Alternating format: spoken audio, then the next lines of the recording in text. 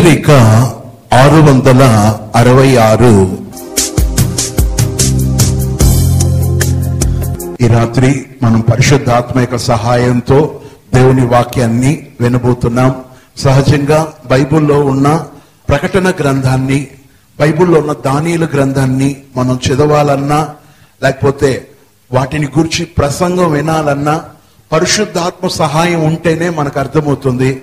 లేకపోతే అర్థం కాదనమాట అందువల్ల అందరం కలిసి దేవుని పాదాల దగ్గర పరిశుద్ధ గ్రంథాన్ని మన గుండెలు కానిచ్చుకొనేసి ఇలా మన యొక్క గుండెల్లో ఇలా ఆ, దేవుని వాక్యాన్ని ఇలా మనల్ని మనమే దేవుని వాక్యాన్ని మన హృదయంలోనికి ఈ వాక్యాలను మన హృదయంలో స్కాన్ చేయనట్లు దేవుని వాక్యం మనకు అర్థమయ్యేటువంటి విధానంలో అర్థం చేసుకునేటువంటి శైలిలో మనకు సద్బోధకుడు మన యేసయ్య ఆయన బోధలు చాలా అమోహం అందువల్ల ఆయన బోధిస్తే అది మనకు చాలా మేలు.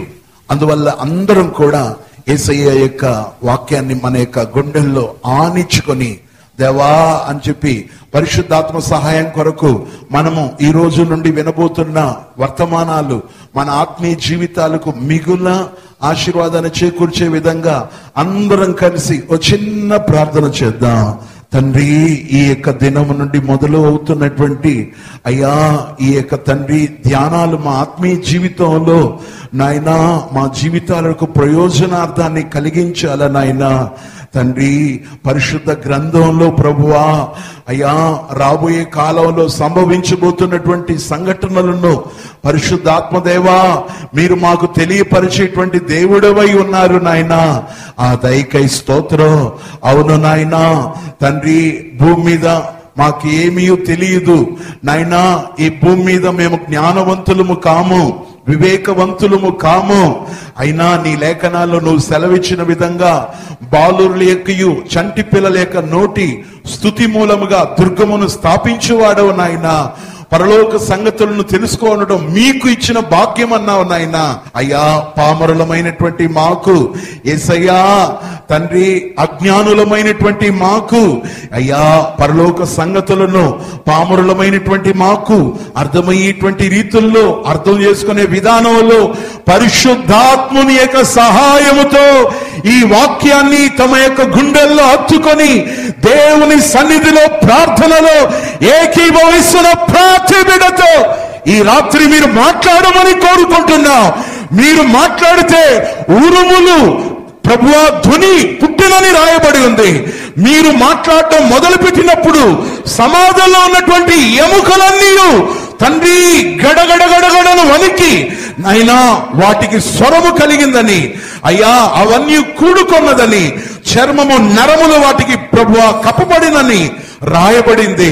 అవును నీ మాటకు శక్తి ఉంది నాయనా నాయనా నీ మాట బండలు బద్దలు చేసే శుద్ధి వంటిది నాయన.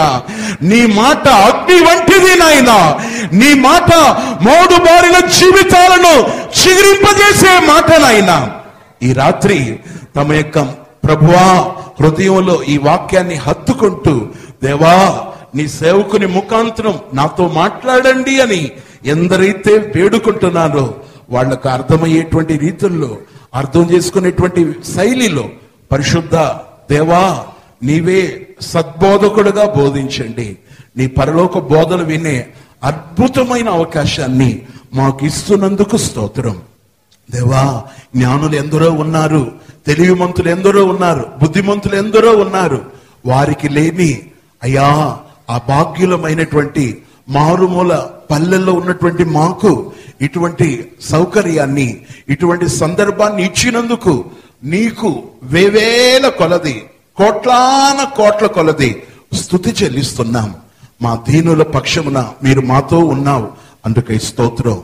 ఈ రాత్రి కూడా నీ ప్రజలకు కావలసిన పరలోక సంగతులు మీరే అర్థమయ్యే రీతుల్లో బోధించమని స్థుతి ఘనత మహిమ ప్రభావములు మీకే చెల్లిస్తూ నచరయుడైన ఏసయనాములు అడుగుచున్నాము తండ్రి. చెప్దాం. ఆమేన్. మీకు ముందుగా తెలియజేసిన విధంగా ఏడు రాత్రులు కూడా హెచ్చరిక ఆరు వందల అరవై ఆరు అతి త్వరలో అనేటువంటి సుదీర్ఘమైన అంశం మీద మీకు దేవుని వాక్యాన్ని బోధించడానికి నేను సిద్ధపడుతున్నాను. హెచ్చరిక ఆరు వందల అరవై ఆరు అనేటువంటి అంశం మీద దేవుని యొక్క వాక్యాన్ని మనం ఏడు రాత్రులు కూడా దేవుని వాక్యాన్ని వినబోతున్నాము నేర్చుకోబోతున్నాము ధ్యానించబోతున్నాం ప్రియులారా నేను ఈ టాపిక్ మీద ఏడు ప్రశ్నలు మీ ముందుంచి ఆ ఏడు ప్రశ్నలకు బైబుల్లో నుండి నేను సమాధానాన్ని మీకు బైబిల్లో నుండి చూపించాలని నేను దేవుని చేత ప్రేరేపించబడుతున్నాను. మనం ఈ ఏడు రాత్రులు కూడా ఏడు ప్రశ్నలు మన ముందుంచుకుని మనం దేవుని వాక్యాన్ని ధ్యానం చేయబోతున్నాం. మొదటి ప్రశ్న అంత్యక్రీస్తు ఎవరు అని మొదటి ప్రశ్న. ఇక రెండవ ప్రశ్న అంత్యక్రీస్తు ఎప్పుడు వస్తాడు అని రెండవ ప్రశ్న. ఇక మూడవది అంత్యక్రీస్తు యొక్క పరిపాలన ఎలా ఉంటుంది? మూడవ ప్రశ్న. ఇక నాలుగవది అంత్యక్రీస్తు యొక్క పరిపాలన ఎంతకాలం ఉంటుంది అని చెప్పి నాలుగవ ప్రశ్న. ఇక ఐదవ ప్రశ్న అంత్యక్రీస్తుకు బైబుల్ ఇచ్చే పేర్లు ఏవి? అని ఐదవ ప్రశ్న.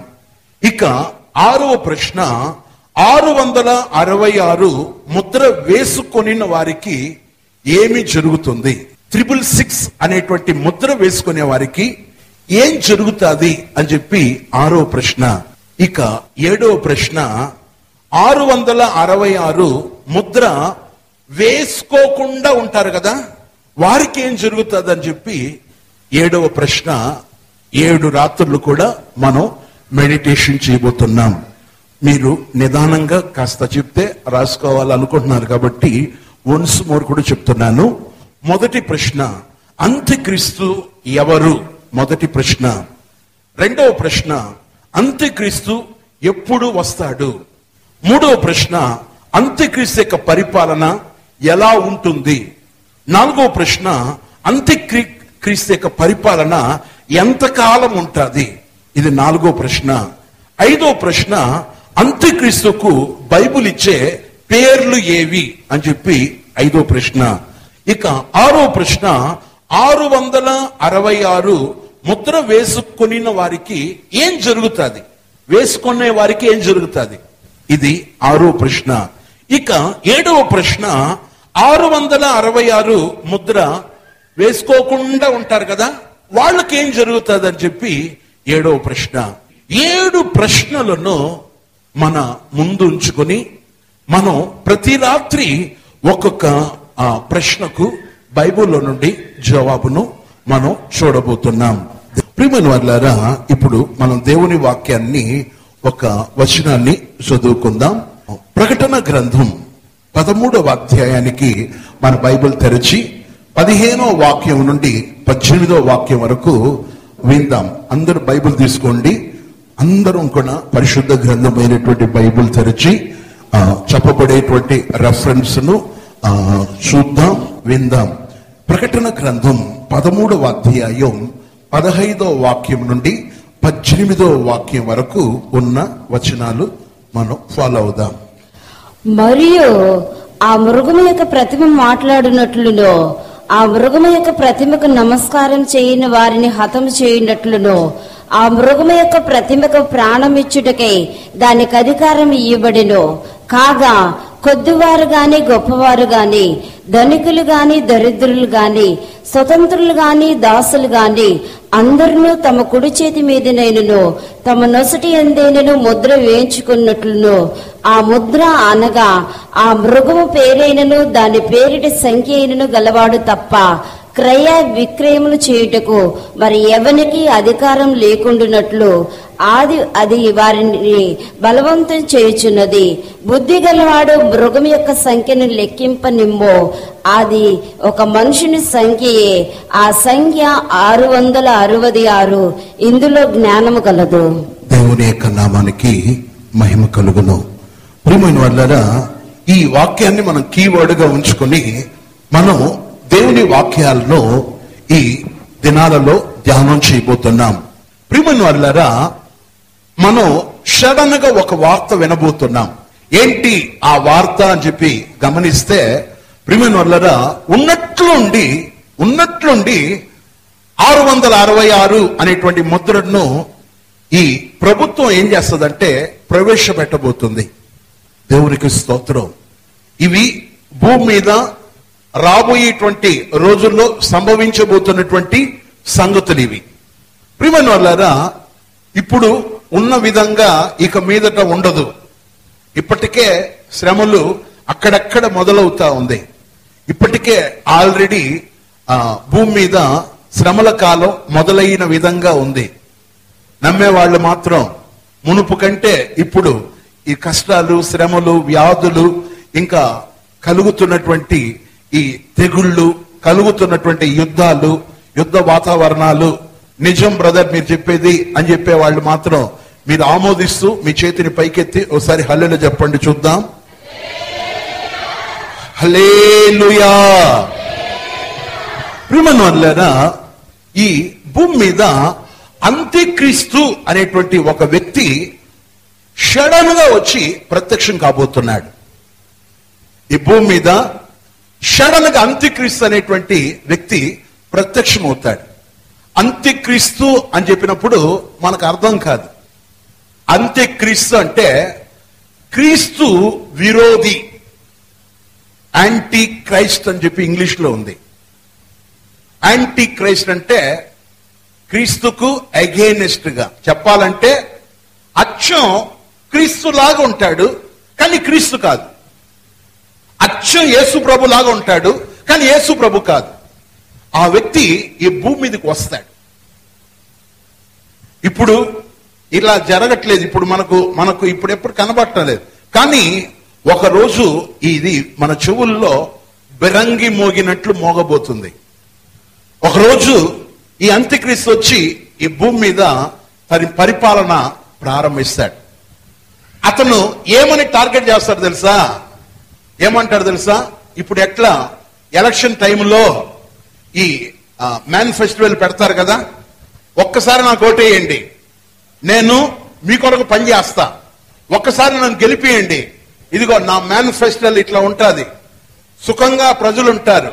నేను ఇది చేస్తాను. నేను అది చేస్తాను. నేను గెలిచిన తర్వాత ఇది మీకు ఇస్తాను. ఇది మీకు చేస్తాను. ఇది మీకు చేస్తాను అని చెప్పి ఎలా ఇప్పుడున్న రాజకీయ నాయకులు అలా ఒకరి మీద ఒకరు పోటీగా ఉంటారో ఇదే విధంగా అంత్యక్రియ ఏం చేస్తారు తెలుసా? అదును చూసి లోపలికి ఎంటర్ అవుతాడు ఇప్పుడు వరకు మీకు ప్రశాంతత లేదు కదా? ఇప్పుడు వరకు మీరు కరువుతో ఉంటున్నారు కదా? ఇప్పుడు వరకు ప్రశాంతత లేదు కదా? రాజ్యంలో ఎక్కడ చూసినా అరాచకాలే ఉంది కదా? గొడవలు ఉన్నాయి కదా? ఎక్కడ చూసినా తీరని లోటు ఉన్నాయి కదా? మీరు ఒక్కసారి నన్ను గెలిపియండి అని చెప్పి అంత్యక్రియ ఏం చేస్తారు తెలుసా? ఈ భూమి మీదకి వచ్చి తన ఆ భూమి మీద ఉన్నటువంటి మనుషులతో ఒక ఒప్పందాన్ని చేస్తాడు. ఒక ఒప్పందం చేస్తాడు. ఆ ఒప్పందంలో ప్రియమైన ఆ వ్యక్తి ఏం చేస్తాడు తెలుసా? నాకొక్క ఛాన్స్ ఇవ్వండి మిమ్మును మీ భవిష్యత్తులను మీ జీవితాలను బంగారుమయంగా మార్చేస్తాను. ఇప్పుడు మీకు ఉద్యోగాలు లేదు కదా? నాకు అవకాశం ఇవ్వండి మీ అందరికి ఉద్యోగాలు ఇస్తాను. ఇప్పుడు మీకు సరిగ్గా తిండి లేదు కదా మూడు పూట్ల నేనే తిండి పెడతాను. అది మంచి ఫుడ్ పెడతాను. ఒక్కసారి ఛాన్స్ ఇవ్వండి మీకు మీరు పనికి పోకపోయినా మీకు ఉద్యోగం చేయకపోయినా నేను ఫ్రీగా మీకు జీతాలు ఇస్తా. ఒక్కసారి నాకు ఛాన్స్ ఇవ్వండి అని చెప్పి ఈ అంత్యక్రియ ఏం చేస్తాడు తెలుసా? బైబిల్లో ఉన్నట్లు మీకు చెప్తే అర్థం కాదు కాబట్టి అంత్యక్రీస్తు అనేటువంటి వాడు మూడు రీతులుగా బయలుదేరతాడు. అంత్యక్రీస్తు మూడు రీతులుగా ఇప్పుడు ఎట్లా మేనిఫెస్టివల్ పెడతారు కదా అధికారులు రాజకీయ నాయకులు. అట్లా ఈ అంత్యక్రీస్తు అనేటువంటి వాడు ఏం చేస్తాడు తెలుసా?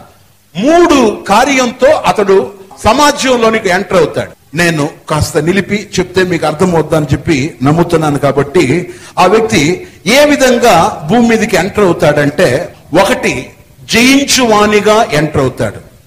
ఒకటి జయించువానిగా ఎంటర్ అవుతాడు. నేను మొదట మీకు చెప్పేస్తాను. తర్వాత ఎక్స్ప్లెయిన్ చేస్తాను. రెండవది ఆత్మీయతగా ఆ వ్యక్తి భూమి మీదకి వస్తాడు. రెండవది ఒకటేమో జయించువానిగా బయలుదేరతాడు. రెండవది ఆ వ్యక్తి ఏం చేస్తాడంటే ఆత్మీయత ఆత్మీయత అనేటువంటి ఆ ముసుగులో ఎంటర్ అవుతాడు.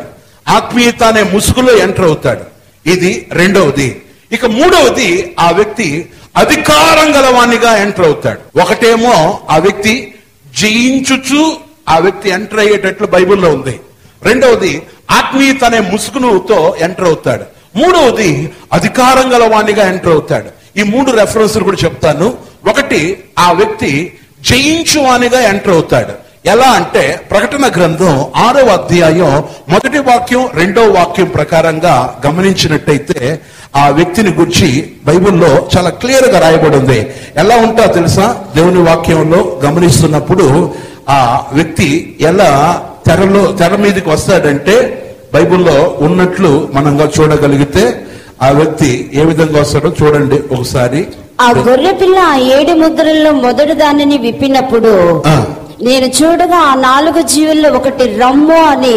ఉరుము వంటి స్వరంతో చెప్పుట వింటిని. ఉరుము వంటి స్వరముతో చెప్పుట వింటిని. మరియు నేను చూడగా మరియు నేను చూడగా ఇదిగో ఒక తెల్లని గుర్రము కనబడెను. ఇదిగో ఒక తెల్లని గుర్రం కనబడెను. దాని మీద ఒకడు విల్లు పట్టుకొని కూర్చుండి ఉండును. దాని మీద ఒకడు విల్లు పట్టుకొని కూర్చుండెను. అతనికి ఒక కిరీటం ఇయ్యబడెను. అతనికి ఒక కిరీటం ఇవ్వబడెను. అతడు జయించుచు జయించుటకు బయలు వెళ్ళెను. అదిగో చూసారా చూసారా? అక్కడ మీరు జాగ్రత్తగా గమనించినట్టయితే అక్కడ ఒక రహస్యం ఉంది. అతని దగ్గర ప్రియమైన వాళ్ళారా ఏముందంట అతని చేతుల్లో? విల్లు ఉంది కానీ దానికి బాణం లేదు. అదే అక్కడ మనం తెలుసుకోవాల్సిన విషయం. విల్లు చేతుల్లో ఉంది విల్లు ఏమో చేతుల్లో పట్టుకున్నాడు. దానికి బాణం కావాలా? బాణం లేదు అక్కడ. ఇప్పుడు అతను ఎట్లా బయలుదేరుతున్నాడని చెప్పి ఆ వాక్యంలోనే రాయబడి ఉందంటే ప్రియమైన వాళ్ళరా కింద వాక్యాన్ని అతడు జయించుచు జయించుటకు- అతడు జయించుచు. అతడు జయించుచు. జయించుటకు బయలు వెళ్ళెను. అదిగో జయించుటకు బయలు వెళ్ళను. ఒకసారి హల్లులో చెప్దాం. ఇంకాస్త గట్టిగా చెప్తే బాగుంటుంది. అక్కడ ఒక అక్కడ ఒక అంకె ఉంది. నాలుగు అనే అంకె. అక్కడ కింద గమనిస్తే జయశాలిగా. జయశాలిగా. చూడండి అతని దగ్గర విల్లు ఉంది కానీ బాణం లేదు. అంత్యక్రీస్తు ఎట్లా ఎంటర్ అవుతాడు తెలుసా? అంత్యక్రీస్తు జయించుచు జయించడానికి బయలుదేరిన పెద్ద డాంబికంగా నేనున్నంత వరకు ఎవరికి ఏ ఇబ్బంది లేదని చెప్పి ఆ వ్యక్తి ఏం చేస్తాడంటే జయించడానికి చెప్పాలంటే ఆ వ్యక్తి మహిమ కలుగును. చూడండి ఆ తర్వాత కింద వాక్యాలు మనంగా చదవగలిగితే మూడో వాక్యం ప్రకారంగా మూడు నాలుగు వాక్యాల ప్రకారంగా అక్కడ ఈ విధంగా రాయబడి ఉంది చూద్దాం ఆయన రెండవ ముద్రను విప్పినప్పుడు రెండవ ముద్రను విప్పినప్పుడు రమ్ము అని రెండవ జీవి చెప్పుట వింటిని. అదిగో మొదట ఏమో మనకు కంటబడుతుంది. ప్రియమనోళ్ళరా మీకు అర్థమయ్యేటట్లు చెప్తున్నాను. ఇలా అన్ని మీకు బైబిల్ ప్రకారంగా చూపియాలంటే లేకపోతే చదివి వినిపించాలంటే చాలా టైం పట్టింది కాబట్టి నేను క్లుప్తంగా చెప్తున్నాను. అధ్యాయంలో గమనించినట్టయితే ఈ అధ్యాయంలో గమనిస్తే నాలుగు గుర్రాల మీద నలుగురు వ్యక్తులు కనబడతారు. ఒకటి తెల్లని గుర్రం. తెల్లని గుర్రం.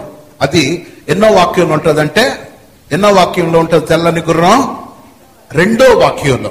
తెల్లని గుర్రం మీద ఉన్న వ్యక్తి చేతుల్లో ఏముంది చెప్పండి? విల్లు. విల్లు ఉంది. కానీ దానికి బాణం లేదు. అంటే ఇక్కడ ఈ తెల్లు తెలుపు అనేది దేనికి సాదృశ్యం అంటే నీతికి సమాధానానికి సాదృశ్యం. ఆదివారం లాగా ఉండదు ప్రసంగం. కొంచెం మనకు అర్థం అవ్వాలా? ఈ తెల్లని గుర్రం అనేది నీతికి సాదృశ్యం. ఇంకో మాట చెప్పాలంటే వైట్ అనేది పీస్. చూడండి రైచియస్నెస్కు ఇంకా పీస్కు సంబంధించిందే తెల్లని గుర్రం. ఈ గుర్రం మీద వ్యక్తి ఉన్నాడు. అతని దగ్గర విల్లు ఉంది కానీ బాణం లేదు. సహజంగా రాజులైనా లేకపోతే ఏ వ్యక్తులైనా గుర్రం ఎక్కి సవారీకి వెళ్తే లేకపోతే గుర్రం ఎక్కి వేటకి వెళ్తే విల్లు అదే సమయంలో బాణం ఉంటేనే వాళ్ళు అనుకున్న ఆ వేట సాగుతుంది. కానీ ఈ వ్యక్తి దగ్గర గమనిస్తే విల్లు ఉంది కానీ బాణం లేదు. అంటే ఇతని యొక్క జీవితం కూడా అలానే ఉంటుంది. సరే రెండవ ఆ యొక్క విషయానికి వస్తే రెండవ ముద్ర విప్పినప్పుడు అక్కడ ఎర్రని గుర్రం మీద వ్యక్తి కనబడుతున్నాడు. చూడండి ఈ ఎరుపు అనేది గమనిస్తే చూడండి ఆ మాట చదువుతారు. మూడు నాలుగు వాక్యాలు. అప్పుడు ఎర్రనిదైన వేరొక గుర్రం బయలు వెళ్ళెను. అప్పుడు ఎర్రనదైన వేరొక గుర్రం బయలు వెళ్ళెను. మనుషులు ఒకరినొకడు చంపుకున్నట్లు. మనుషుడు ఒకరినొకడు చంపుకున్నట్లు భూలోకంలో సమాధానం లేకుండా చేయుటకు. భూలోకంలో సమాధానం లేకుండా చేయుటకును. ఈ గుర్రం మీద కూర్చున్న వానికి అధికారం ఇయ్యబడి చూడండి ఈ గుర్రం మీద కూర్చున్న వానికి అధికారం ఇవ్వబడింది. ఫస్ట్ ఒక గుర్రం కనబడింది. ఏ గుర్రం అది? తెల్లని గుర్రం. ఆ తెల్లని గుర్రం మీద ఉన్న వ్యక్తి దగ్గర విల్లు ఉంది. తెలుపు అనేది నీతికి పరిశుద్ధులకు సాదృశ్యం. ఓకే ఫస్ట్ అర్థమైంది. రెండవది ఇక్కడ ఎర్రని గుర్రం అని ఉంది. ఈ ఎరుపు అనేది ప్రిమనొల్లరా విప్లవానికి సాదృశ్యం. ఎరుపు అనేది గమనిస్తే ఇది రక్తపాతాన్ని చూపిస్తుంది. రెడ్ అనేది రెడ్ అనేది. ఎరుపు అనేది ఇది మారణ హోమానికి సాదృశ్యం. రక్తం. చూడండి. ఎర్రజెండ ఎర్రజెండ. చూడండి అదే కదా. మీకు అట్లా చెప్తే అర్థమవుద్ది. ఎరుపు అనేది విప్లవానికి చెప్పాలంటే కమ్యూనిజానికి సాదృశ్యం. చూడండి అంటే ఆ వ్యక్తి ఎట్లున్నాడంటే ఎర్రని గుర్రం మీద ఉన్నాడు. ఆ ఎరుపు అతని దగ్గర గమనిస్తే అతని దగ్గర ప్రిమనుల చంపడానికి అంట చూడండి నాలుగో వాక్యంలో ఉంది ఒకనొకడు మనుషులను ఒకనొకడు చంపుటకు భూలోకంలో సమాధానం లేకుండా చేయుటకు. భూలోకంలో సమాధానం లేకుండా చేయుటకు. ఈ గుర్రం మీద కూర్చున్న వానికి అధికారం ఈ గుర్రం మీద కూర్చున్న వానికి అధికారం ఉంది. మరియు అతనికి ఒక పెద్ద ఖడ్గం ఇయ్యబడిను. అదిగో ఏముందంట అతని చేతుల్లో? ఖడ్గం. పెద్ద ఖడ్గం పెద్ద కత్తి. కత్తి ఉంది. కత్తి ఎందుకు? చెప్పండి కత్తి ఎందుకంటే మీరు చెప్పాలి ఆన్సర్ నాకు. కత్తి ఎందుకు? నరకడానికి చంపడానికి. చూడండి. అంటే ఇది దేనికి? ఈ వ్యక్తి ఆ యొక్క రెండవ ముద్ర విప్పినప్పుడు అక్కడ ఎర్రని గుర్రం ఏమైందంటే ఆ ఎర్రని గుర్రం మీద ఒక వ్యక్తి కూర్చున్నాడు ఇది రెండవ ముద్ర విప్పినప్పుడు జరిగే సంభవం.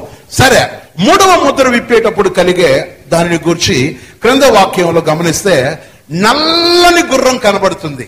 ఒకటేమో మీరు వింటున్నది నిజమే. ఎలాంటి గుర్రం? ఫస్ట్ గుర్రం? తెల్లని గుర్రం. రెండవది ఏ గుర్రం. ఎర్రని గుర్రం. తెలుపు అంటే నీతి సమాధానం. ఎరుపు అంటే విప్లవం. విప్లవం. వర్దెల్లాలి విప్లవం. విప్లవం అంటే మారణ హోమం. చెప్పాలంటే రక్తపాతం కమ్యూనిజం. అదే ఎరుపు అంటే. సరే ఇప్పుడు మూడవ ఆ ముద్ర విప్పినప్పుడు అక్కడ నల్లని గుర్రం బయలుదేరింది. చూడండి ఆ మాట ఎక్కడ ఎక్కడ చదువుతున్నా? ఐదో వాక్యం. ఐదో వాక్యం ఆయన. మూడవ ముద్రను విప్పినప్పుడు ఆయన మూడవ ముద్రను విప్పినప్పుడు రమ్ము అని మూడవ జీవి చెప్పుట వింటిని. రమ్మని మూడవ జీవి చెప్పుట వింటిని. నేను చూడగా నేను చూడగా ఇదిగో ఒక నల్లని గుర్రము కనబడెను. అదిగో ఇదిగో ఒక నల్లని గుర్రం కనబడెను. దాని మీద ఒకడు త్రాసు చేత పట్టుకుని కూర్చుండి ఉండును. దాని మీద ఒకడు త్రాసు చేత పట్టుకొని కూర్చుండెను. మరియు మరియు దేనారములో ఒక సేరు గోధుమలనియు. మరియు దేనారమునకు ఒక సేరు గోధుమలనియు? దేనారములకు మూడు సేర్ల ఎ- ఎవలననియు దేనారమునకు మూడు సేర్ల ఎవలనియు నూనె నూనెను నూనెను? ద్రాక్షారసమును. ద్రాక్షారసమును? పాడు చేయవద్దనియు. పాడు చేయవద్దనియు? ఆ నాలుగు జీవుల మధ్య ఒక స్వరము పలికినట్టు నాకు వినబడిను. దేవునికి స్తోత్రం. హలేలుయా ఇది మూడవ ఆ యొక్క ముద్రను విప్పినప్పుడు కలిగిన ఆ యొక్క సందర్భం. చూడండి ఈ నల్లని గుర్రం అనేది దేన్ని చూపిస్తుందంటే కరువు కాటకాలను చూపిస్తుంది. నలుపు అనేది కరువు కాటకాలు.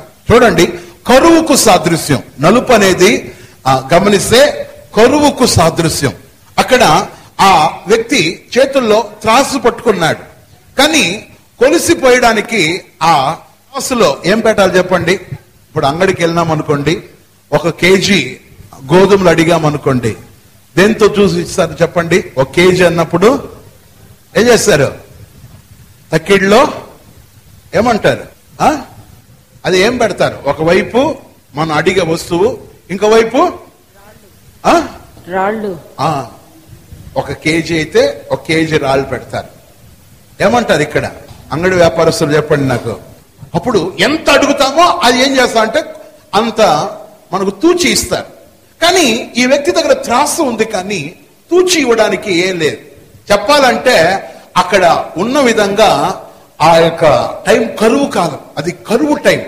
తినడానికి తిండి లేదు. అక్కడ ముఖ్యంగా గమనిస్తే గోధుమలు ఇంకా ఎవలలు ఇంకా ద్రాక్షారసం నూనె. వీటిని వృధా చేయకూడదు పాడు చేయొద్దు అని చెప్పి ఒక స్వరం వినబడతా ఉంది. అంటే కరువుగా ఉంటుంది. నల్లని గుర్రం ఎక్కిన ఆ వ్యక్తి చేతిలో త్రాసు ఉంది అంటే దాని అర్థం ఏంటంటే అక్కడ తినడానికి ప్రజల దగ్గర తిండి లేదు. తినడానికి ఆహారం కొరత ఏర్పడే కాలం. తినడానికి ఆహారం లేని లోటు వస్తుంది. ప్రిమన్ వల్లరా ఇప్పుడు మీకు తెలియట్లేదు ఇప్పుడు కేజీ బియ్యం ఎంత చెప్పండి ఈరోజు రేటు? ఎంత ఇప్పుడు? ఒక కేజీ సోనా మసూర. మీరు బియ్యం పేరు చెప్పండి బ్రదర్ మేము చెప్తా అంటున్నారు. సోనా మసూర ఎంత చెప్పండి కేజీ? కరెక్ట్గా చెప్పండి పర్వాలేదు ఉన్నదే చెప్పండి యాభై రూపాయలు. ఒక రోజు వస్తుంది ఒక రోజు ఆ రోజు మీరు రెండు వేల రూపాయలు బియ్యం ఒక కేజీ బియ్యం ఇవ్వు ఇదిగా రెండు వేల రూపాయలు పెట్టుకో అన్నా మీకు రెండు వేల కాగితం వాళ్ళకి ఇచ్చినా మీకు బియ్యం ఇవ్వడానికి ఎవ్వరు కూడా ఏ అంగడిలో కూడా దొరకదు. ఇది చేయి విడవబడిన వారికి ఈ భూమి మీద జరిగే పరిణామాన్ని చెప్తున్నాను. మనం దేవుని కృపలు బట్టి దేవుని రాకళ్ళు ఎత్తబడతాం. ఒక రోజు వస్తాది. ఆ రోజు ఇట్లా పరిణామం ఉంటుంది. ఒక కాగితం ఇస్తారు. రెండు వేల రూపాయలు కాగితం ఇస్తారు. అయ్యా నాకు కేజీ బియ్యం ఇవ్వంటే లేదు అంటారు. అది కరువు. అదే మూడవ ముద్ర విప్పినప్పుడు అక్కడ త్రాసు చేతులు పట్టుకున్నాడు. కానీ ఆ యొక్క త్రాసుకు తక్కిడకు తక్కిడిలో తూచి ఇవ్వడానికి ఆ కొలరాళ్ళు లేవు. ఇది కఠోరమైన కాలం ప్రియమైన వాళ్ళారా ఇది మూడవ ముద్ర విప్పినప్పుడు కలిగిన పరిణామం. ఇక నాలుగవ ముద్రను గురించి రాయబడి ఉంది. అక్కడ పాండు వర్ణం కలిగినటువంటి ఒక గుర్రాన్ని గురించి రాయబడి ఉంది. ఎన్నో వాక్యం? ఏడు ఎనిమిది. ఏడవ వచనం ఎనిమిదవ వచనం. ఆయన నాలుగవ ముద్రను విప్పినప్పుడు ఆయన నాలుగవ ముద్రను విప్పినప్పుడు రమ్ము అని నాలుగో జీవి చెప్పుట వింటిని. రమ్ము అని నాలుగో జీవు చెప్పుట వింటిని. అప్పుడు నేను చూడగా అప్పుడు నేను చూడగా ఇదిగో పాండూరు వర్ణం గల ఒక గుర్రం కనబడిను. దాని మీద కూర్చున్న వాని పేరు మృత్యువు దాని మీద కూర్చున్న వాని పేరు మృత్యువు. పాతాళలోకం వాని వెంబడించెను. పాతాల లోకం అతన్ని వెంబడించెను. ఖడ్గం వల్లను కరువు వల్లను ఖడ్గము వలనను కరువు వలనను. మరణం వల్లను భూమిలో నుండి క్రూర ముఖం వలనను. మరణం వలనను భూమి నుండి క్రూర మృగం వలనను భూనివాసులను చంపుటకు భూమి యొక్క నాలుగో భాగం పైన భూమి భూ నివాసులను చంపుటకు భూమి యొక్క నాలుగో భాగంపై అధికారం వానికి ఇవ్వబడిను. అధికారం వారికి ఇవ్వబడెను. ఈ పాండు వర్ణం కలిగిన ఈ గుర్రం అనేది నాలుగో ముద్ర విప్పినప్పుడు ఉన్న ఆ యొక్క బయలుదేరిన గుర్రం. పాండు వర్ణం కలిగిన ఈ గుర్రానికి నేను ఆత్మీయంగా చెప్పే మాట ఏంటంటే ఇది సమృద్ధిని చూపిస్తుంది. సమృద్ధి సమృద్ధి. చూడండి తెలుపు అనేది నీతి సమాధానానికి ఎరుపు అనేది విప్లవానికి నలుపు అనేది కరువు కాటకాలకు ఈ పాండు వర్ణము అనేది సర్వ సమృద్ధిని ఇది సమృద్ధిని సూచిస్తుంది. చూడండి అక్కడ ఈ యొక్క వ్యక్తికి ప్రియమనుల మృత్యువు అనే పేరు ఉంది అతనికి గుర్రం మీద కూర్చున్న వానికి మృత్యువు చెప్పాలంటే పాతాల లోకం వాడిని వెంబడించిందంట.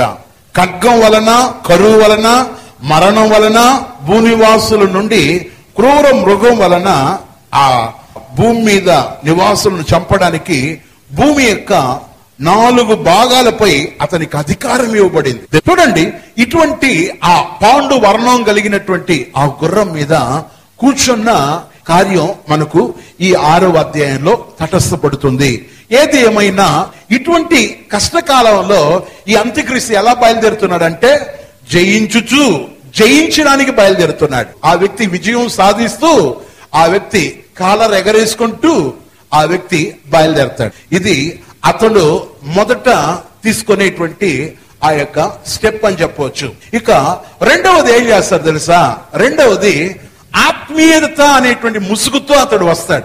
ఆత్మీయత అనే ముసుగుతో వస్తాడు. ఎక్కడ ఎలా ఇది చెప్పొచ్చు అంటే పదమూడవ అధ్యాయం ప్రకటన గ్రంథం పదమూడవ వాక్యాన్నిగా చదవగలిగితే అక్కడ ఒక మాట రాయబడి ఉంది. చూద్దామా? అది పదమూడవ ఆకాశం నుండి ఆ, భూమికి మనుషులు ఎదుట అగ్ని దిగి వచ్చినట్టుగా. గొప్ప సూచనలు చేయుచున్నది. చూడండి గొప్ప సూచన చేయుచున్నది కత్తి దెబ్బ తినిన తినియు కత్తి దెబ్బ తినియు బ్రతికిన ఈ క్రూర ముఖమునకు ఆ, ప్రతిమను చేయవలనని ఆ. అది భూనివాసులతో చెప్పుచు ఆ. ఆ మృగము ఎదుటి చేయుటకు తనకి ఇయ్యబడిన ఆ. సూచనల వలన ఆ. భూనివాసులను మోసపుచ్చుచున్నది చూడండి భూనివాసులను మోసపుస్తా ఉంది సూచనలు చేస్తా ఉంది సూచనలు చేయడం అంటే అప్పుడు చాలా మంది ఏమవుతారంటే భ్రమ పడిపోతారు అమ్మో ఇది సూచనలు చేస్తుంది ఇది మెరక్కలు చేస్తుంది అని చెప్పి ఏమవుతారంటే అక్కడ ఆత్మీయంగా ప్రజల్లో మబ్బి పెడతాడు. అంత్యక్రియ ఏం చేస్తాడు తెలుసా? సూచక్రియలు చేస్తాడు. అక్కడ మిరక్కలు చేస్తాడు. అప్పుడు భూనివాసులు అమ్మో ఇతడు స్పిరిచువల్గా ఉన్నాడు ఇతడు ఆత్మీయంగా ఉన్నాడు అని చెప్పి చాలా మంది నమ్మేస్తారు. ఒకటేమో జయించుటకు జయించువానిగా బయలుదేరినాడు. రెండవది ఆత్మీయత అనే ముసుగులో వచ్చాడు. సూచక్రియలు చేస్తూ అద్భుతాలు చేస్తూ మహత్కార్యాలు చేస్తూ ఆ వ్యక్తి వచ్చాడు. ఇది రెండవది. ఇక మూడవది గమనించినట్టయితే అధికారం గలవాణిగా వచ్చాడు. అధికారం గలవాణిగా చూడండి మనం అదే ప్రకటన గ్రంథం పదమూడవ అధ్యాయం పదహారు పదిహేడు వాక్యాలను బట్టి గమనిస్తే ఆ వ్యక్తి దగ్గర కమాండింగ్ పవర్ ఉంది. చెప్పాలంటే అతని దగ్గర అధికారం ఉంది. కొద్దివారేమి గొప్పవారేమి ధనికులు కానీ దరిద్రులు కానీ స్వతంత్రులు కానీ దాసులు కానీ అందరూ కుడి చేతుల్లో ఏం చేయాలి తెలుసా? ఆ ముద్ర వేసుకోవాలా? అలా వేసుకొనకపోతే అక్కడ క్రయ విక్రయాలు చేయడానికి ఎవ్వనికి ఏం లేదంట చెప్పండి? అధికారం లేకుండా అతడు వారిని బలం- బలవంతం చేయించున్నదని ఉంది. చూద్దాం విందాం. కాగా? కాగా? కొద్దివారు గాని గొప్పవారు గాని. కొద్దివారు కాని గొప్పవారు కాని. ధనికులు గాని దరిద్రులు గాని. ధనికులు కాని దరిద్రులు కాని. స్వతంత్రులు గాని దాసులు గాని. స్వతంత్రులు కాని దాసులు కాని. అందరూ తమ కుడి చేతి మీదనైనా. అందరూ తమ కుడి చేతి మీదనైనను. తమ నొసటి ఎందైనను. తమ నొసటి ఎందైనను. ముద్ర వేయించుకున్నట్లును. ముద్ర వేయించుకున్నట్టయినను. ఆ ముద్ర ఆ ముద్ర అనగా ఆ మృగం పేరైనను. అనగా ఆ మృగం యొక్క పేరైనను. దాని పేరిటి సంఖ్య అయినను గలవాడు తప్ప. దాని పేరిట సంఖ్య అయినా గలవాని ఎదుట. క్రయ విక్రయములు చేయుటకు. క్రయ విక్రయములు చేయుటకు. మరి ఎవరికి అధికారం లేకుండానట్లు. చూడండి ఎవరికి అధికారం లేకుండానట్లు. అది వారిని బలవంతము చేయుచున్నది. అదిగో వాని అది వానిని బలవంతం చేస్తుంది. అంటే అతని దగ్గర కమాండింగ్ పవర్ ఉంది. అతని దగ్గర అధికారం ఉంది. క్రయ విక్రయాలు. క్రయం అంటే కొనడం విక్రయం అంటే అమ్మడం. అది బైబిల్ పరి ఆ యొక్క పరిభాష. క్రయం అంటే ఏంటి చెప్పండి? క్రయం అంటే కొనుగోలు చేయడం. విక్రయం అంటే అమ్మడం అమ్ము అమ్మకం అమ్మక అమ్మడం. ఇదే క్రయ విక్రయాలంటే. ఎవరు కూడా ఆ ముద్ర వేసుకోకుండా అమ్మడానికి లేదు. ఎవరు కూడా కొనడానికి లేదు. అదే క్రయ విక్రయాలు. అతని దగ్గర అధికారం ఉంది. ఆ అధికారాన్ని ఆ వ్యక్తి ఏం చేస్తాడు తెలుసా? అప్పుడు అమల్లోనికి తెస్తాడు. అంటే ఏం చెప్తున్నానంటే అధికారం గలవాణిగా వస్తాడు. ఇప్పుడు ఈ మూడు విషయాలతో అంత్యక్రియ ఏం చేస్తాడంటే బయలుదేరుతాడు. ఒకటేమో మీరు విన్న విధంగా ఒకటి చెప్పండి. అంత్యక్రియ ఎలా వస్తాడు? జయించుచు జయించడానికి వస్తాడు. అంటే ఆ వ్యక్తి యొక్క జీవితంలో జయిస్తూ జయిస్తున్న వానిగా వస్తాడు. ఇది మొదటిది. రెండవది ఏం చేస్తాడు? ఆత్మీయత అనే ముసుగు గుండా సూచక్రియలు చేయడం మహత్కార్యాలు చేయడం అద్భుతాలు చేయడం ఇట్లా వస్తాడు. ఇక మూడవది అధికారం గలవాణ్ణిగా ఆ వ్యక్తి ఎంటర్ అవుతాడు. ఇక్కడ వల్ల ఇక్కడ వరకు కొంచెం నేను ఇక్కడ ఇంకా మీకు ఇంకా డెప్త్గా చెప్తే మీకు అర్థం కాదు కాబట్టి మీరు జీర్ణించుకోలేరు కాబట్టి కాస్త ఇక్కడ ఆపుతున్నాను.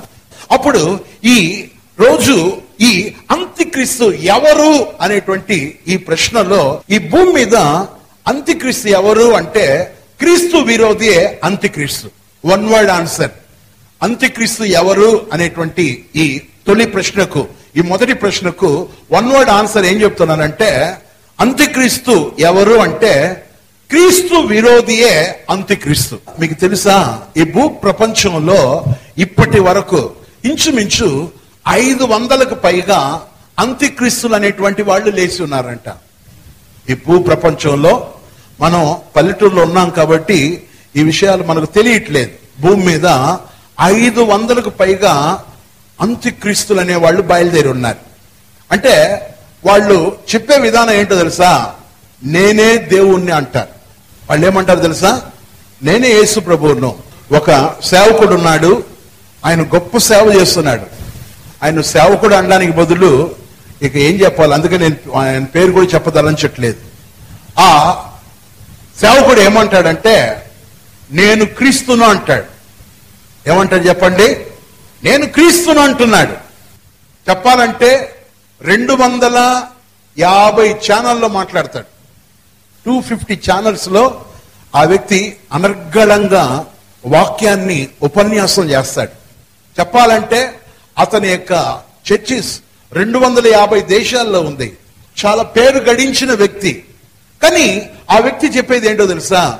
నేనే దేవుణ్ణి నేనే దేవుణ్ణి అని చెప్పి ఆ వ్యక్తి చెప్పుకుంటున్న సందర్భం ఉంది. ఇది యూట్యూబ్లో హల్చల్ చేస్తా ఉంది. భూ ప్రపంచంలో సవాలు విసురుతున్నాడు. నేనే క్రీస్తును నేనే క్రీస్తును నేనే యేసును అంటున్నాడు. కానీ బైబుల్ ఏం చెప్తుందంటే ఇప్పుడు నేను మొదటి ప్రశ్నలో అడుగు పెడుతున్నాను.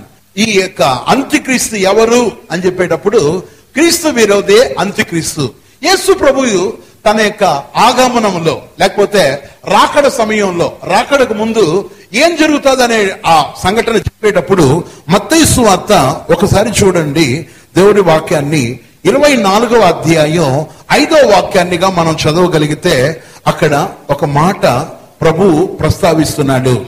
ఏంటి ఆ మాట అంటే అనేకులు నా పేరట వచ్చి నేనే క్రీస్తునని చెప్పి పలువురిని మోసపురుచుదురు అని చెప్పి ప్రభు అంటున్నాడు.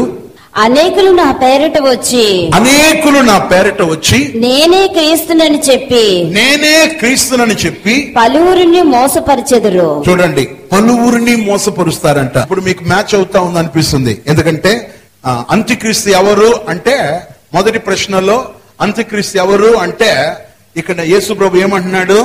అనేకులు నా పేరట వచ్చి భూమి మీద ఒక లెక్క కట్టారు. ఆ లెక్కను బట్టి మీతో చెప్పాను. ఐదు వందలకు పైగా ఈ నేనే క్రీస్తు నేనే దేవుణ్ణి నేనే ఐఆమ్ ఫర్ ద జీసస్ అని చెప్పి భూ ప్రపంచంలో ఉన్నటువంటి ప్రజలను సవాలు విసురుతున్నటువంటి అనేకులు ఉన్నారు. అనేకులు ఉన్నారు.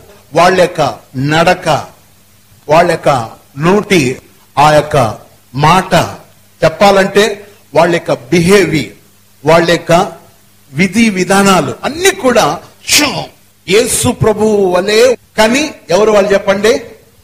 ఎవరు వాళ్ళు? ఆ? సాతానుడు ఎలాంటి వాడు తెలుసా? సాతాను చాలా మోసగాడు. సాతాను ఎవరు చెప్పండి? చాలా మోసగాడు. ఎవరు మోసగాడు చెప్పండి? ఆ సాతాను. సాతాన్ అంటే మీకు ఒకసారి చెప్పాను గుర్తుందా?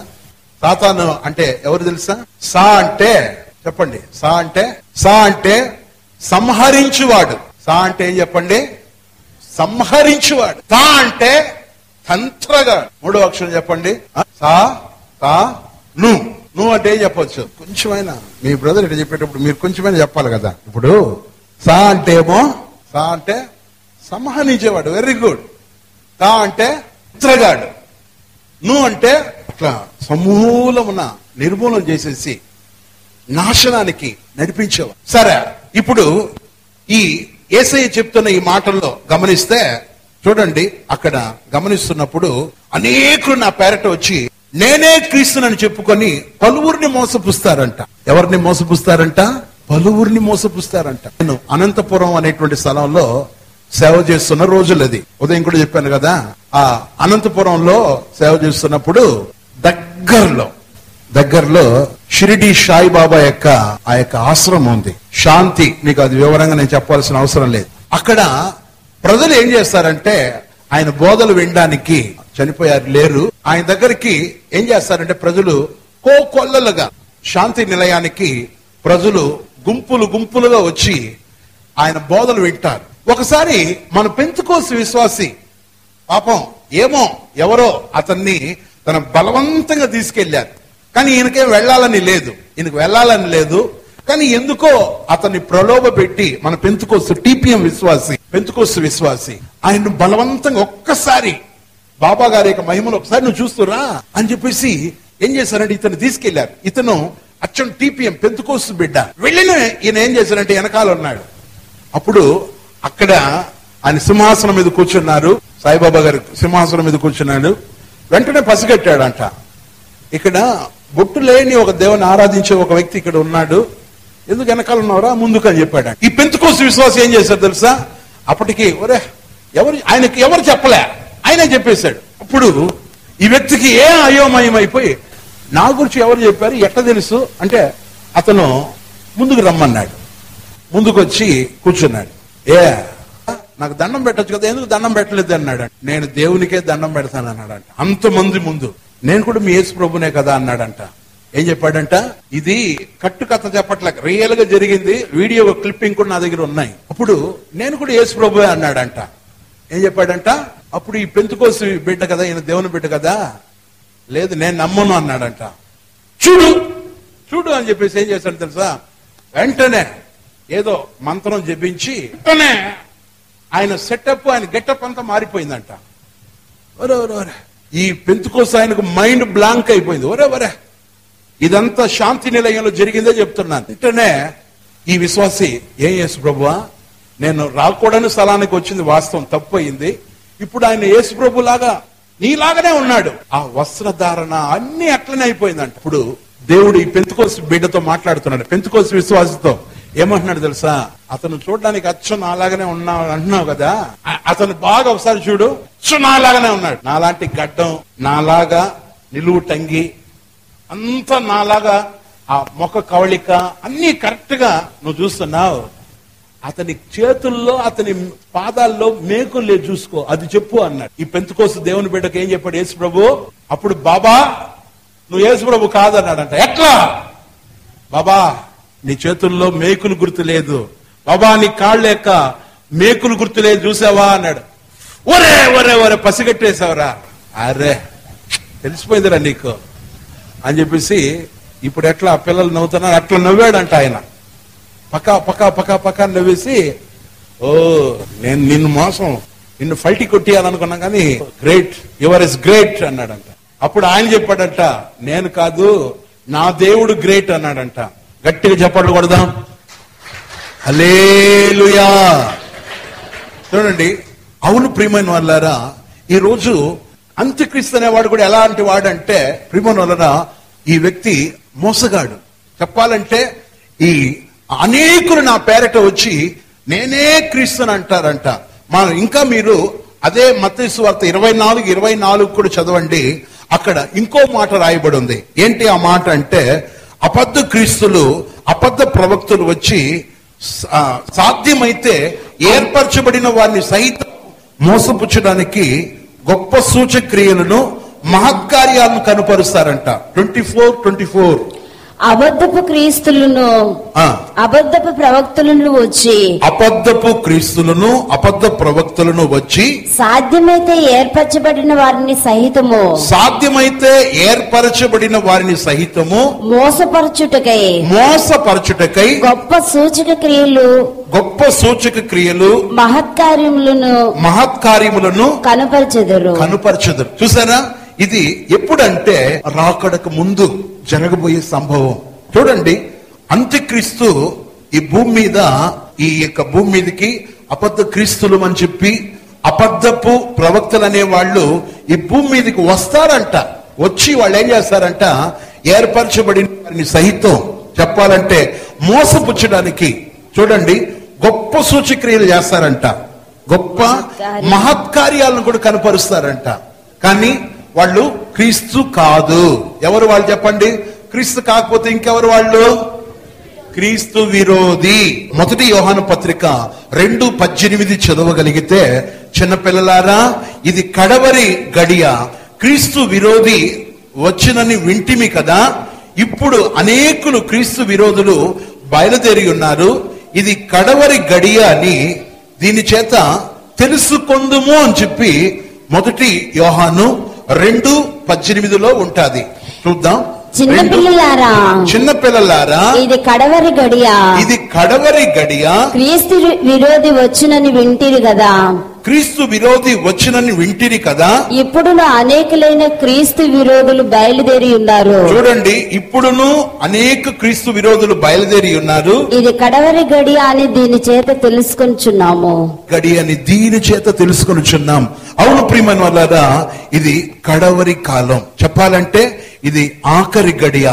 ఎందుకంటే అక్కడ ఆ యొక్క క్రీస్తు అని చెప్పేసి వాళ్ళు ఏం చేస్తారంటే మోసపుస్తున్నారు. చెప్పాలంటే వాళ్ళు ఏం చెప్తున్నారు తెలుసా? మేము క్రీస్తు అంటున్నారు.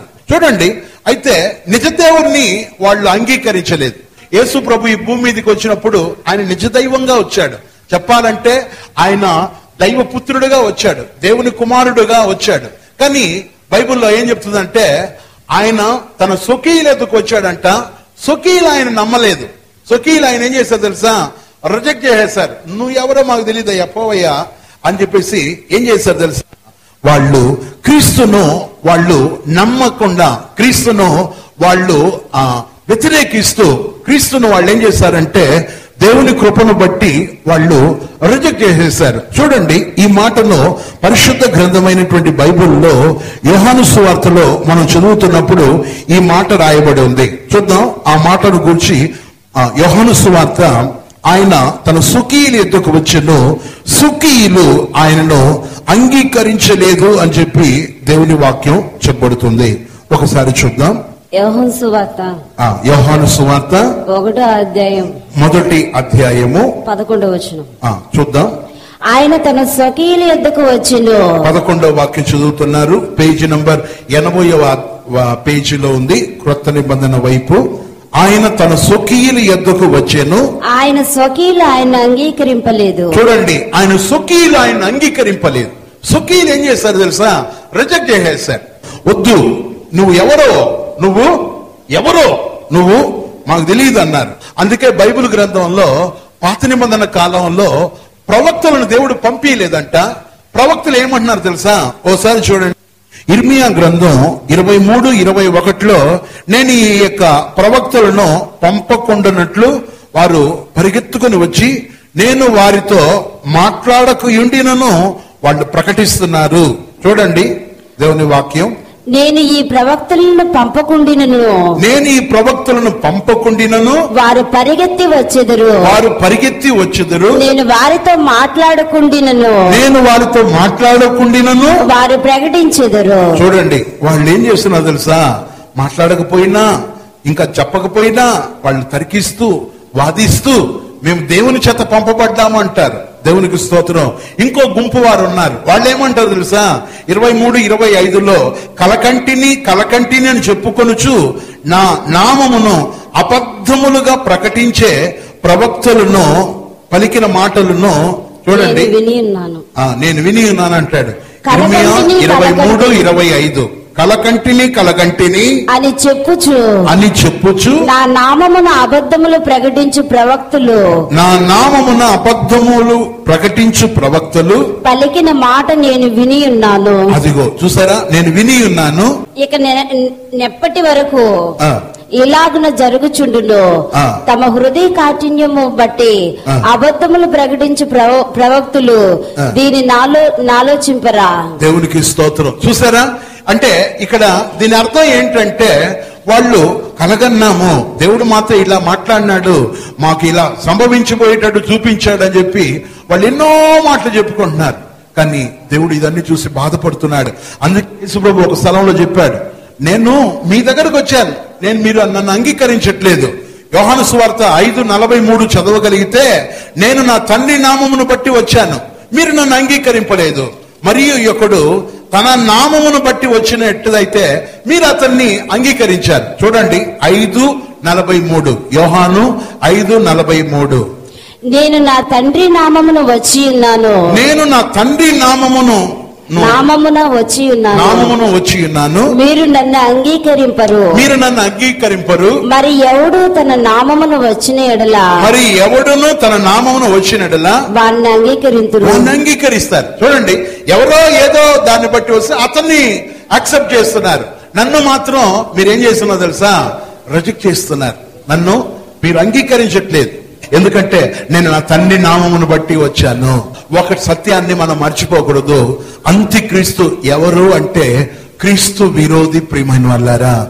ఈ భూ ప్రపంచంలో ఎంతో మందికి అంత్యక్రీస్తులు ఏమైనారు తెలుసా? బయలుదేరారు. చెప్పాలంటే అంత్యక్రీస్తు చాలా మంది బయలుదేరినారు. ఈ భూమి మీద ఐదు వందలకు పైగా అంత్యక్రీస్తులు అనబడినారు. పేరు గడించిన వాళ్ళు అద్భుతాలు మహత్కార్యాలు చేసేటువంటి వాళ్ళు ఎంతోరో ఎందరెందరో ఉన్నారు. కానీ మనం దేవుని బిడలం కాబట్టి మనం మోసపోకూడదు. అందుకే బైబిల్ గ్రంథంలో ఆ ఇరవై నాలుగో అధ్యాయంలోనే ఉంది. కొందరు వచ్చి అంటారంట ఇదిగో క్రీస్తు ఇక్కడ ఉన్నాడు ఇదిగో ఈ గదిలో ఉన్నాడు. క్రీస్తు ఇక్కడ ఉన్నాడు అక్కడ ఉన్నాడు అని చెప్తే మీరు మోసపోబాకండి. అక్కడ దేవుడు ఒక ఒక ఆ, యొక్క ఒక ఎవిడెన్స్ ఇచ్చాడు. ఏంటంటే ఆ మెరుపు అనేది తూర్పు నుండి పడమటికి అలా మెరుస్తుందంట. ఒక్కసారి ఆ రెఫరెన్స్ చదువుకొని ప్రసంగాన్ని ముగించుకుందాం. అక్కడ చెప్పేటప్పుడు కాలమందు ఎవడైనను? ఆ, ఎన్నో అధ్యాయం మత్తయి సువార్త ఇరవై నాలుగు ఇరవై నాలుగవ అధ్యాయం ఇరవై మూడవ ఇరవై మూడో వచనం ఆ కాలమందు ఎవడైనను? ఆ కాలమందు ఎవడైనను? ఇదిగో క్రీస్తు ఇక్కడ ఉన్నాడు. ఇదిగో క్రీస్తు ఇక్కడ ఉన్నాడు. అక్కడ ఉన్నాడు. అక్కడ ఉన్నాడు. అని చెప్పిన ఎడల అని చెప్పిన ఎడల నమ్మకుడి. నమ్మకుడి. అబద్ధపు క్రీస్తులను. అబద్ధపు క్రీస్తులను. అబద్ధపు ప్రవక్తలను వచ్చి అబద్ధపు ప్రవక్తలను వచ్చి సాధ్యమైతే ఏర్పరచబడిన వారి సహితము. సాధ్యమైతే ఏర్పరచబడిన వారిని సహితం మోసపరచుటకై మోసపరచుటకై గొప్ప సూచక క్రియలను గొప్ప సూచక క్రియలను మహత్కార్యములను కనపరచెదరు. ఆ మహత్కార్యములను కనపరచుదురు. ఇదిగో ఇదిగో ముందుగా నేను మీతో చెప్పి ఉన్నాను. ముందుగా మీతో చెప్పి ఉన్నాను. కాబట్టి ఎవరైనను కాబట్టి ఎవరైనను ఇదిగో ఇదిగో అరణ్యములో ఉన్నాడని అరణ్యములో ఉన్నాడని మీతో చెప్పినను వెళ్ళకుడి. మీతో చెప్పిన ఎడల వెళ్ళకుడి. ఇదిగో లోపల గదిలో ఉన్నాడని చెప్పినను ఇదిగో లోపల గదిలో ఉన్నాడని చెప్పినను నమ్మకుడి. నమ్మకుడి. మెరుపు తూర్పున పుట్టి మెరుపు తూర్పున పుట్టి పడమటి వరకు ఎలాగ కనబడునో పడమటి వరకు ఎలాగ కనబడునో అలాగే మనుష్య కుమారుని రాకడియు నుండును. అలాగనే మనుష్య కుమారుని రాకడను ఇండును ఆయన రాకడ ఎట్లా ఉంటాదంటే మెరుపు ఆకాశంలో పుట్టి అది ఏమవుతుంది? తూర్పు పుట్టి పడమట వరకు ఎలా కనబడుతుందో ఒక దిక్కు నుండి ఇంకో దిక్కు వరకు ఎట్లా మెరుపు వస్తుందో అలా ఉంటాది నా రాకడ. అంటే ఈ అంత్యక్రీస్తు ఎప్పుడు వస్తాడంటే మీకు అర్థమైంది ఇప్పుడు. ఎప్పుడు వస్తాడంటే ఆయన రాకడకు ముందు వస్తాడని ఇక్కడ అర్థమవుతా ఉంది అంటే క్రీస్తు ఇక్కడ ఉన్నాడు అక్కడ ఉన్నాడు అరణ్యంలో ఉన్నాడు గదిలో ఉన్నాడంటే మీరు నమ్మవద్దు నా రాకడకు ఒక సూచన ఇస్తున్నాను. మెరుపు ఎక్కడ పుడుతుందండి చెప్పండి? తూర్పున తూర్పున పుట్టి పడమటి వరకు కనబడతాది. అప్పుడు ఏమనుకోవాలి తెలుసా మీరు? ఆ మనుష్య కుమారుని యొక్క రాకడా. అనుకోవాలి. అంతే తప్ప అప్పటి వరకు ఉన్న ఈ అన్ని కూడా ఇవన్నీ అంత్యక్రీస్తు యొక్క మాయా మహిమలు అని చెప్పాలి. ఇవన్నీ కూడా అబద్ధపు క్రీస్తు యొక్క కార్యాలని చెప్పి మనం గ్రహించాలా? ఈ రాత్రి నేను ఇక్కడ ఆపుతున్నాను. ఒకసారి మనం అందరం కళ్ళు మోద్దాం. ఒకసారి మనం అందరం కళ్ళు మోద్దాం. అంత్యక్రీస్తు అంత్యక్రీస్తు ఈ భూమి మీదకి వచ్చే కాలం అన్ని సన్నాహాలు రెడీ అయిపోయింది. అంత్యక్రీస్తు రాబోతున్న కాలంలో ఉన్నాము.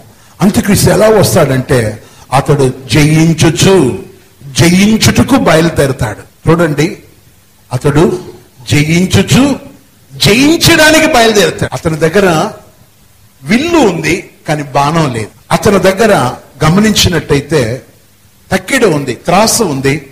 తూచడానికి ఆ కొల రాళ్ళు లేవు. ఇది ఎంత భయంకరం. ప్రేమైన వల్ల మనకు కాలం ఇక లేదు. ఇక సమయం లేదు. ఆ తెల్లని గుర్రం అనేది నీతి సమాధానాలు. నీతి అనే ముసుగులో సమాధానం అనే ముసుగులో ఆ వ్యక్తి బయలుదేరతాడు. కానీ నిజమైన నీతి నిజమైన సమాధానం ప్రజలకు దొరకదు. రక్తపాతం. రెండవ ముద్ర విప్పినప్పుడు ఎర్రని గుర్రం. ఎరుపు విప్లవానికి. మూడవ గుర్రం. మూడవ ముద్ర విప్పినప్పుడు నల్లని గుర్రం. ఆ నలుపు అనేది కరువు. తినడానికి ఆహారం లేదు. త్రాగడానికి ద్రాక్షారసం. త్రాగడానికి ఆ యొక్క నీళ్ళు కూడా కొదవ. నూనె నూనె కూడా లేదు. నాలుగో గుర్రం. నాలుగో ముద్ర విప్పినప్పుడు పాండు వర్ణం కలిగినటువంటి ఆ గుర్రం మీద మృత్యువు అనేటువంటి వాడు బయలుదేరుతున్న సమయం. ఈ అంత్యక్రీస్తు యొక్క పరిపాలన దగ్గర ఎత్తున్న కాలంలో దేవుని బిడలోగా మనం మనకు కనువిప్పు కలగాల. అందువల్ల అందరం కూడా త్వర ప్రభు రాకడకు మనం సిద్ధపడదాం.